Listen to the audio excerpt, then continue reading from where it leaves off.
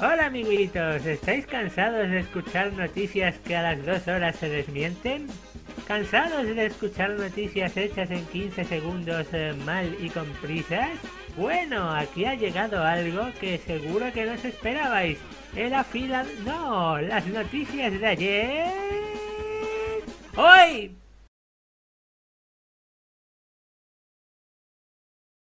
Muy buenas a todos, estamos en un nuevo vídeo de las noticias de ayer eh, hoy. Vamos con las noticias del día 26 de septiembre y lo digo ya son poquitas y muy secas. Pero es sábado, fin de mes, está la cosa muy mala. Bueno, la primera es eh, directamente Activision, coge y te pega un guantazo en la cara, ¿vale? Tú ni te lo imaginas, ¿vale? Activision pega a la puerta de tu casa, tú abres y dices, buenos días, ¿quién pa? ¿Por qué? Call of Duty Black Ops 3 en PS3 y en Xbox 360 solo tendrán multijugador. O sea, no hay campaña.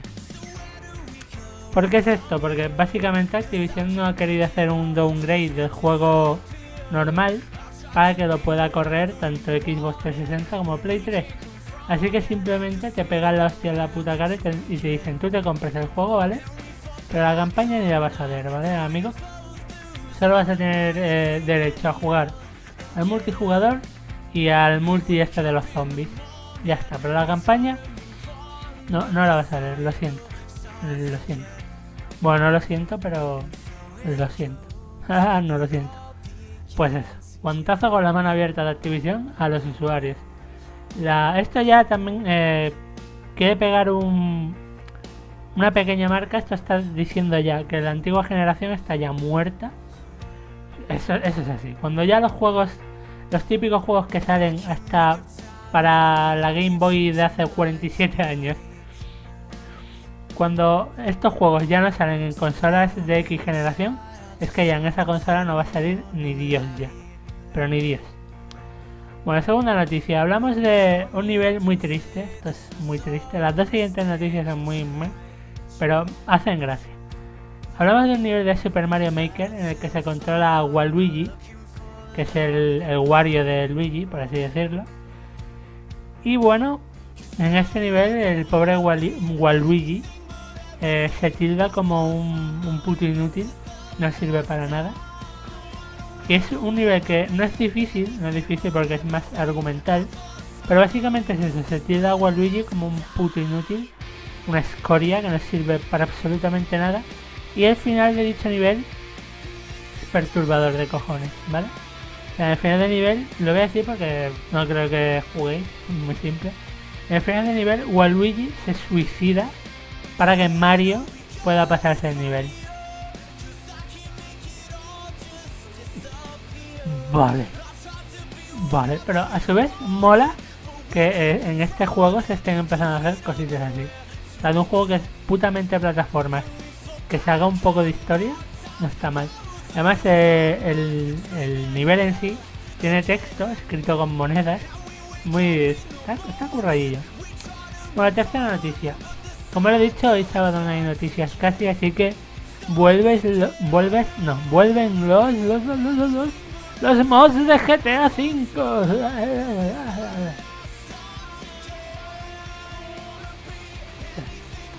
Pues bueno, un nuevo mod en el que se han potenciado las explosiones, concretamente las de C4. O sea, en vez de ser una explosión que mueve coches y tal, ahora los hace volar, literalmente, vamos. Le pones un C4 en un coche, lo explotas y el coche se va a tomar por culo. Gracioso, gracioso como podéis ver en el vídeo. No está mal.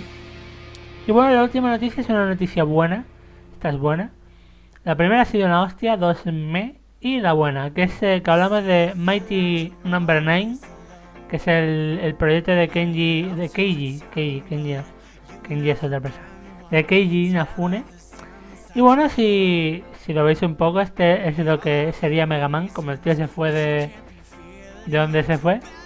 Mega Man ya no, no es suyo, así que inventó este Mighty Number 9, lo metió en Kickstarter, eh, pilló una pasta brutal y bueno, este juego ya por fin tiene fecha de salida, que va a ser el 9 de febrero del año que viene, obviamente no vamos a viajar en el tiempo. El 9 de febrero para Norteamérica y el 12 de febrero para el resto del mundo. Así que es una buena noticia porque en menos de medio año ya podemos disfrutar de este juego. También hay que decir que a Sony le, le gusta este juego. Tiene, tiene esperanzas con este jueguico. Es bastante fan de Mega Man.